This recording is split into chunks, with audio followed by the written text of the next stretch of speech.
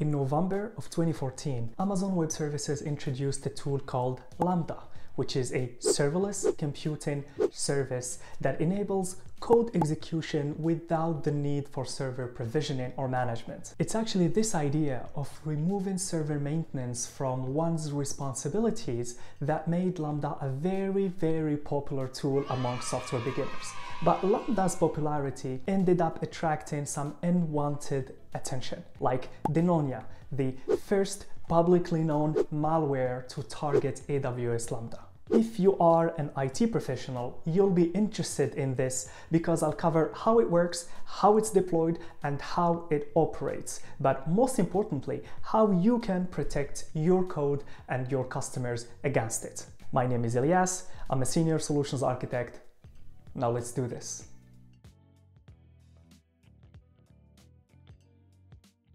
You see, Lambda is built on top of Firecracker, an open source virtualization technology that basically creates super lightweight virtual machines, also called micro VMs. Here's a rough idea of how it works. When the Lambda service invokes your function, an isolated execution environment based on Firecracker is then created.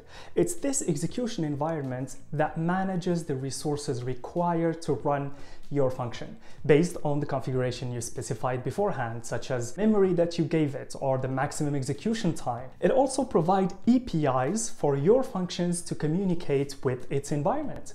The functions runtime communicates with Lambda using the runtimes API. Extensions communicate with Lambda using the extensions API, and logs are provided through the logs API. As for storage, each execution environment provides from 512 megabytes to 10 gigabytes of disk space in the slash TMP directory. Now, the second most important thing I want to overview before diving into this novelty virus is what AWS calls the shared responsibility model. In a nutshell, AWS managed services operate in a way that makes security and compliance a shared responsibility between AWS and the customer. AWS is responsible for the security of the cloud, meaning AWS takes it upon itself to protect the infrastructure that runs its services. This infrastructure is composed of the hardware, the software, networking, and facilities that run AWS cloud services. But the customer is responsible for security in the cloud, right? AWS takes care of security of the cloud, but you as a customer, you are responsible for security in the cloud. Take Amazon EC2, for example, a service categorized as infrastructure as service, right? Well, EC2 requires the customer itself to perform all of the necessary security configuration of the service. Meaning, customers that deploy an Amazon EC2 instance are responsible for the management of the guest operating system, including updating the OS that you use and security patches on it, any application software or utility installed by the customer on the instance, the configuration of the provided firewall, what we call security groups, on each and every instance. It's a little bit different for abstracted or fully managed services such as Amazon S3 or Amazon DynamoDB and also AWS Lambda. For these services, AWS operates the infrastructure layer, including the operating system, and all customers have to do is access the endpoints to manage their data. All right, now that we understand a little bit more about how Lambda functions work, we can talk about this new malware that has been recently discovered by security researchers at Cado Security, a cybersecurity forensics company. Here is what we know so far. Denonia is a 64-bit executable virus developed in the Go language. It is named after the domain it connects with, gw.denonia.xyz. It is technically a crypto miner. That's a software that allows the mining of cryptocurrencies like Bitcoin or Ethereum on computers and servers. Now, once Denonia is up and running, it runs a modified version of XMRig, an open source Monero mining program. XMRig uses the single writable folder in a Lambda environment, the slash TMP that we mentioned beforehand, to start from memory. And then the executable connects to a Monero mining pool using the IP address received from the DNS query on port 3333. Now you see, XMRig in itself is a completely legitimate open source application that utilizes system CPUs to mine Monero cryptocurrency. Unfortunately, some parties generate revenue by infiltrating this app into systems without users' consent. This deceptive method rose to popularity following a cryptojacking spike in mid-2017, if you remember, that has impacted almost 15 million people across the globe. Back then, the campaign attackers targeted Jenkins, Oracle, and Apache servers.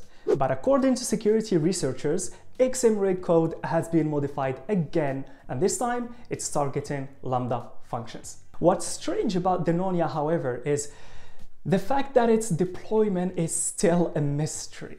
Denonia hides its command and control domain and traffic using a novel evasion strategy based on address resolution making it harder to identify using old techniques while actually enabling communication with other servers easily. Unfortunately, no one has been able to locate the attackers behind Denonia, not yet anyway, because they left behind little to no forensic evidence. So it's still unclear how the virus got into AWS Lambda systems. Cado Security, the cybersecurity research company that discovered Denonia, hasn't found a technique yet, at least they haven't announced it, but they think it involved compromising AWS access and secret keys, then manually installing malware into hacked AWS Lambda installations. As a result, Cado experts believe the cyber criminals behind such attacks have advanced cloud-specific skills and are capable of taking on complex infrastructure.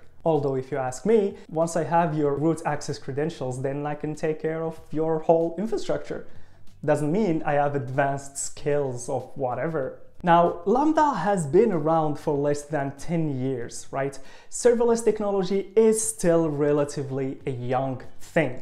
This means that security precautions for such services are frequently disregarded or sometimes even completely overlooked. And I also believe the shared responsibility model is still somehow somewhat misunderstood. Yes, AWS takes care of securing the infrastructure, but we, as customers, are still responsible for managing our own data, right? Using encryption options, for example, for more security, and, and even rotating these keys that we use to encrypt our data, rotating them regularly. We are responsible for classifying our assets. We are responsible for using IAM tools to apply the appropriate permissions. In a follow-up statement, AWS insisted that the actors did not breach Lambda via a vulnerability, saying, and I quote, the software described by the researchers does not exploit any weakness in Lambda or any other AWS service.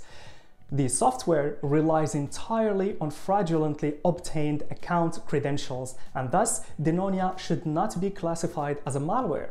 The report also added, because it lacks the potential to acquire unauthorized access to any system on its own. Now, it was after that that the security researchers admitted that although the malicious program is not limited to Lambda, it can still pose a threat to it since Lambda serverless environment is a Linux micro VM built with Firecracker. And I want to take a step back here. Although this first sample is fairly harmless, you know, it only runs only runs a crypto mining software. It demonstrates how attackers are using advanced cloud specific knowledge to exploit complex cloud infrastructure, which in itself is an indicator of more potential future attacks. So how can you protect yourself against Denonia and other potential Lambda-focused attacks in the future? Well, yes, Lambda is becoming more popular and yes, serverless setups are easier than ever. Most of us use, you know, a framework like Serverless Framework or SAM, the Serverless Application Model, to build our apps. And I actually have an end-to-end -end series where you can build your first serverless application using SAM. So just click on this to watch it. Now, we rely on these frameworks to build our applications, and these frameworks promise us to handle the infrastructure so we can only focus on our business logic. And by doing so, in my opinion, that we entrust other parties with the security of our infrastructure. So we definitely have some catching up to do in terms of security. After all, cloud security is one of the best paying jobs in 2022. And you can check out also this video to learn more about that. Now, even though the method used to deploy Denonia is unclear at this time, it is critical to take adequate security steps to prevent it. So here are a few things you could do right now to protect yourself. First of all, I want you to use a strong AWS root account and password and keep your root access credentials safe. I don't even know what my passwords are, to be honest. I use a password manager to generate and rotate these keys regularly. I don't even need to remember my password while doing my daily tasks. And also I want you to avoid using the root access when you are doing your daily tasks, right? Instead, I want you to use it only to establish an AWS IAM admin user account or to carry out access and account management tasks. After that, please log out of your root access and use the admin that you just created.